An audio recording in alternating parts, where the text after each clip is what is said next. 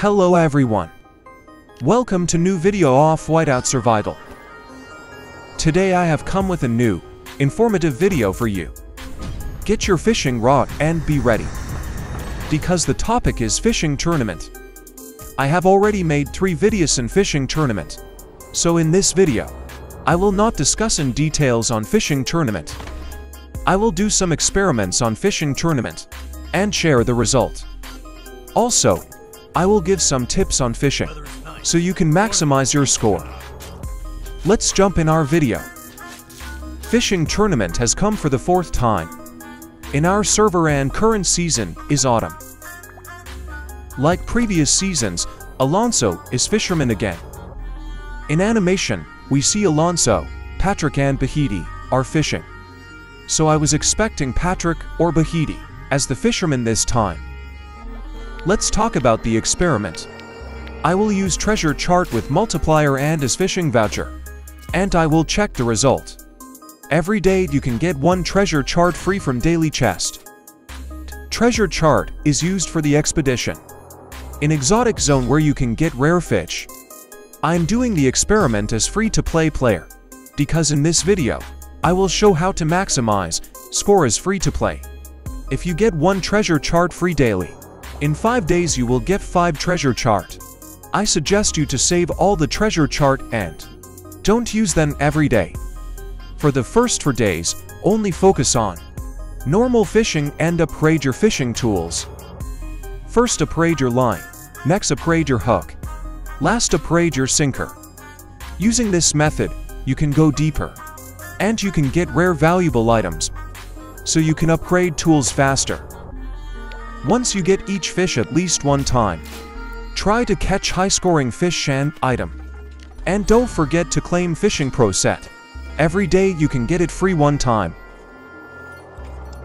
From the guide you can check which fish and item are high-scoring. Without treasure chart, it is almost impossible to get the rare items.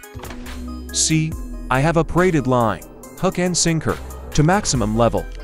Once the fishing tools are upgraded to maximum level, you can go four power cast or multiplier. The multiplier is applicable for both ice fishing and frosty prospector. So keep your reel stabilizer, ocean summoner and lantern ready. If you are going for 5x multiplier, you will need special items 5x times. But you will not get chance to use them 5x times. That means you will get for reel stabilizer, not 20 reel stabilizer. See, with multiplier I made a good score. If I use ice fishing voucher now, the score will be extremely high. But it was ice fishing. I want to use ice fishing voucher for Frosty Prospector. If you are a free-to-play player, you will get one treasure chart, one Horn of Poseidon, one ice fishing voucher from Ice Fishing Club. So use them carefully. Don't use the voucher if your score is low. I am going for Powercast. See, as I am increasing number of multiplier, the number of special item is also increasing. So, you are suggested to get enough special items. If you have low number of special items, get them using gems. Here, I am using one treasure chart, and I am experimenting what score comes.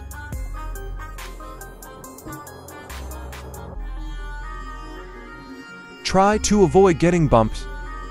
Go as much deep as possible. And catch only those fish who are glowing. Remember, if you are free-to-play player, treasure chart is very important for you. Don't waste it, catching low-scoring fish.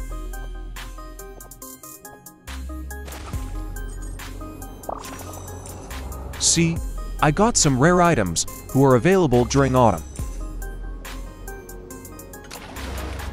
If I wanted, I could increase the score with voucher, but it was not powercast, so I will not use here.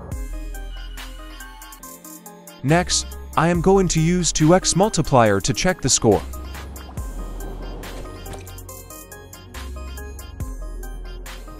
I had 3 treasure chart, so I could go 3x multiplier. But I kept one treasure chart because I have a Horn of Poseidon. And it is best to use Treasure Chart and Horn of Poseidon together. It is not possible to use Frosty Prospect Prospector Powercast and Horn of Poseidon together. Because if you are a free-to-play player, you will get only one Horn of Poseidon in a season.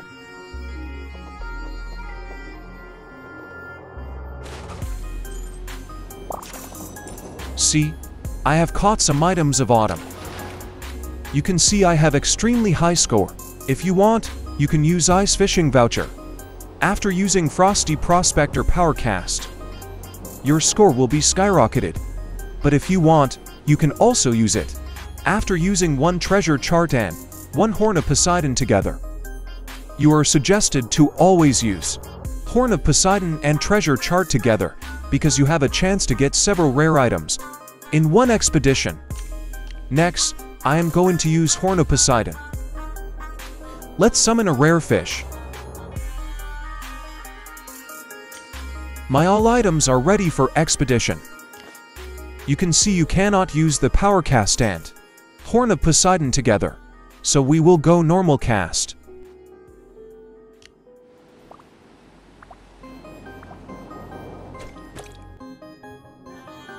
Here you can see, Ocean Summoner and Horn of Poseidon will work together. Using this, you can get some high-scoring, rare fishes.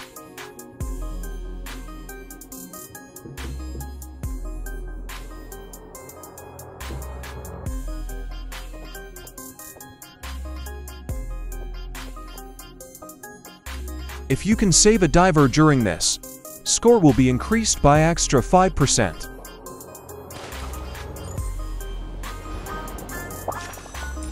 This is the special fish summoned by Horn of Poseidon.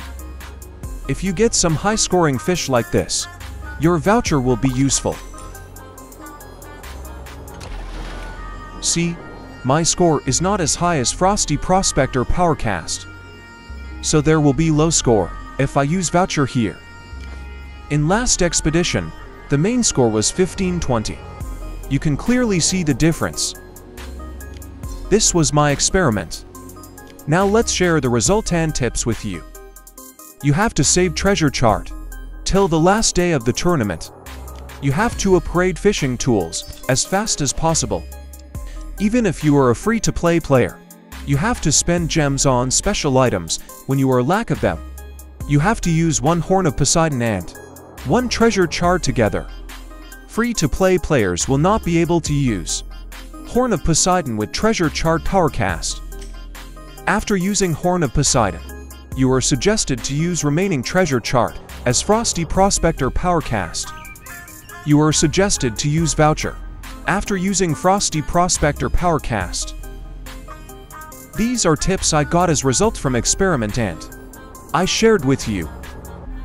In this video, I have not discussed other things. If you want to know about line, hook, sinker, horn of Poseidon, treasure chart, reel stabilizer, ocean summoner and lantern, watch previous parts. I have made detailed video on them. Link given in pinned comment. That is all for this video. To watch more, subscribe.